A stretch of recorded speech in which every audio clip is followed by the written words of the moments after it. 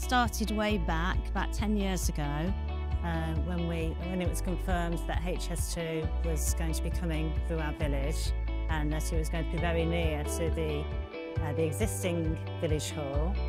Uh, so we were concerned about the impacts of the, the new railway line on the village hall. Started discussions with HS2. We decided on this one um, so we could provide a, a, modern, a modern equivalent of the, the old village hall. Our brief was to design a modern equivalent of the existing village hall which provide first-class energy efficient uh, facilities for the future generations of Burton Green and, and the surrounding areas. Deeley Group's involvement has been to deliver this village hall for the local community. I think we're really excited to see it finally come to fruition. We've been working on it with, with uh, the local community for, for many years. So it's fantastic to see it actually in use today. The Village Hall is the place, it's our community hub really, and this is going to be a fantastic hub, this new one.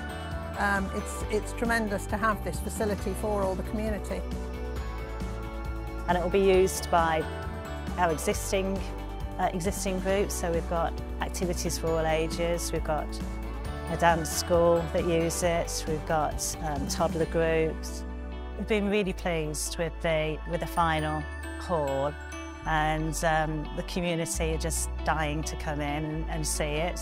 But, uh, but overall really sort of excited and pleased with the, the overall project and I think it's going to be brilliant for the community.